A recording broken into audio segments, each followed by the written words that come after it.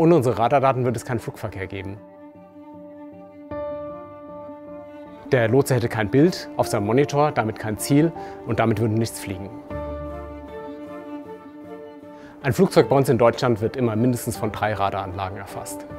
Wir haben in Deutschland 30 Luftlagerradaranlagen. Ähm, damit ist immer eine Überlappung gewährleistet.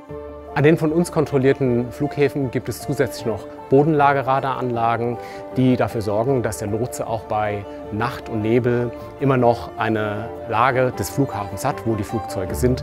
Das macht den Luftverkehr sicher.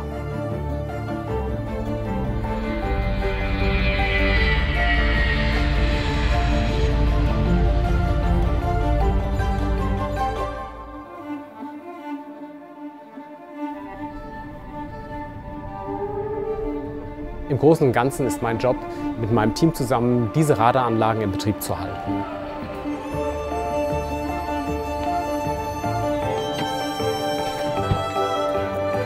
Das ist hochkomplexe Technik, die sehr ausführlich gewartet werden muss. Zu den Aufgaben gemeinsam mit meinem Team gehört es, bei diesen Radaranlagen beispielsweise einen Ölwechsel durchzuführen, aber auch einen Antrieb zu tauschen und die Signalverarbeitungstechnik zu überprüfen und gegebenenfalls nachzuregeln. Das macht das Ganze sehr abwechslungsreich. Der Flugverkehr nimmt immer mehr zu, daher ist es wichtig, dass unsere Radardaten 365 Tage im Jahr rund um die Uhr zuverlässig zur Verfügung stehen. Jeder Fluggast kann sich darauf verlassen, sicher an sein Ziel zu kommen.